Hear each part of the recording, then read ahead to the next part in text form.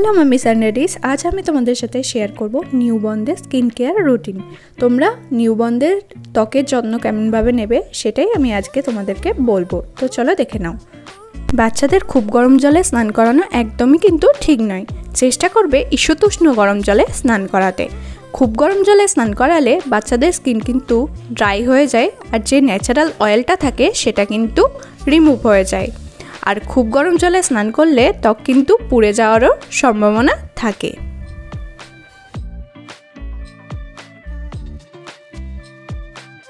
বাচ্চাদের যে সাবান বা শ্যাম্পু মাখাবে, সেটার দিকে লক্ষ্য রাখবে। সেটাই যেন খার বেশি না থাকে, সেটা যেন খুবই মাইল্ড হয় আর গন্ধযুক্তও যেন না হয়। যদি খার বেশি থাকে, তাহলে বাচ্চাদের স্কিনে যে ন্যাচারাল অয়েল আর ময়েশ্চারাইজার থাকে, সেটা খারাপ করে স্কিনকে ড্রাই করে দেয়। তো চেষ্টা করবে মাইল্ড সাবান বা শ্যাম্পু ইউজ করতে। বাচ্চাদের ত্বকে যখন সাবান আর শ্যাম্পু লাগাবে, তখন হাতে কিন্তু এরকম করে ভালো করে ঘষে ওই ফ্যানাটা লাগাবে। ডাইরেক্ট কখনোই সাবান বা শ্যাম্পু অ্যাপ্লাই করবে না। তাতে স্কিন খারাপ হয়ে যাওয়ার চান্স থাকে। সবসময় চেষ্টা করবে বাচ্চাদের টাওয়েল যেন খুবই নরম হয়। আর টাওয়েল দিয়ে যখন বডি মোছাবে, তখন চেষ্টা করবে রাব না করতে, ট্যাপ ড্রাই করতে, তাতে স্কিন কিন্তু ভালো থাকে। আর টাওয়েল ইউজ হয়ে যাওয়ার পরে অবশ্যই কিন্তু ওয়াশ করতে দেবে। একই টাওয়েল কিন্তু দু তিন দিন ধরে ইউজ করবে না।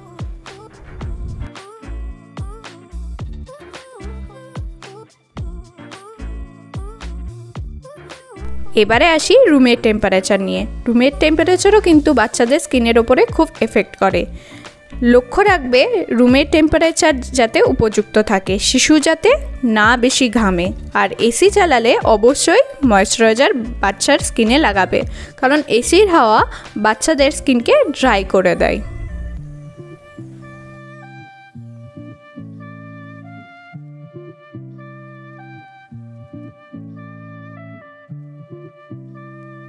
এবার আসি অয়েল মাসাজ নিয়ে। চেষ্টা করবে বাচ্চাকে রোজ অয়েল মাসাজ দিতে।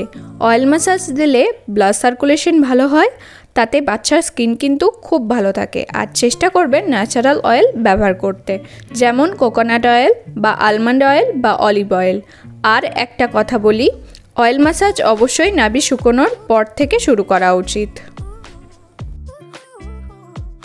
অয়েল মাসাজ দেওয়ার পরে সঙ্গে সঙ্গে কিন্তু স্নান করাবে না। পনেরো থেকে কুড়ি মিনিট পরে স্নান করাবে। এবারে আসি ময়েশ্চারাইজার নিয়ে। তোমরা রোজ বাচ্চাকে চেষ্টা করবে দিনে অন্তত দুবার ময়েশ্চারাইজার লাগানোর। কারণ ওদের স্কিন এতটাই নরম আর সেন্সিটিভ হয়, সহজে ড্রাই হয়ে যাওয়ার চান্স থাকে। তো ময়েশ্চারাইজার কিন্তু দিনে দুবার লাগানো খুব দরকার।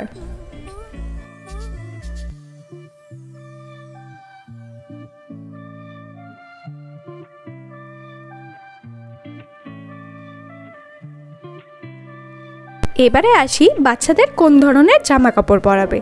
অবশ্যই কিন্তু জামা কাপড়ের কটন ক্লথের হওয়া উচিত। কারণ কটন ক্লথে এয়ারপাস সহজেই হয়। আর এয়ারপাস হওয়ার কারণে বাচ্চাদের শরীরে কিন্তু ঘাম জমতে দেয় না। সেই কারণে স্কিন কিন্তু খুব ভালো থাকে। আর কটন ক্লথ দেখবে খুব নরম হয়। কখনোই কিন্তু সিনথেটিক বেস কাপড় জামা বাচ্চাদের একদম পরাবে না।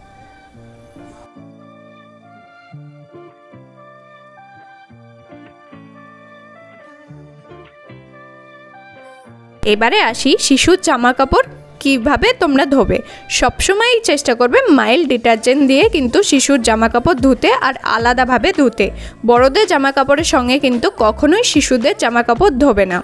তাতে কিন্তু ইনফেকশন হয়ে যাওয়ার চান্স থাকে স্কিনে র্যাশ হওয়ারও কিন্তু চান্স থাকে।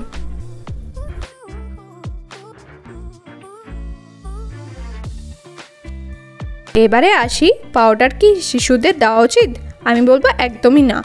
পাউডার লাগালে শিশুদের ঘামের যে গ্রন্থিগুলো থাকে সেগুলো বন্ধ হয়ে যায় আর ঘাম কিন্তু হয় না, তাতে কিন্তু স্কিনে খুব ক্ষতি করে।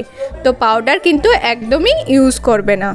আজকের ভিডিওটি আমি এখানেই এন্ড করব। যদি ভালো লাগে অবশ্যই আমার চ্যানেলটিকে সাবস্ক্রাইব করো আর একটি লাইক দিতে ভুলো না আর অবশ্যই ফ্যামিলি আর ফ্রেন্ডের সাথে শেয়ার করো।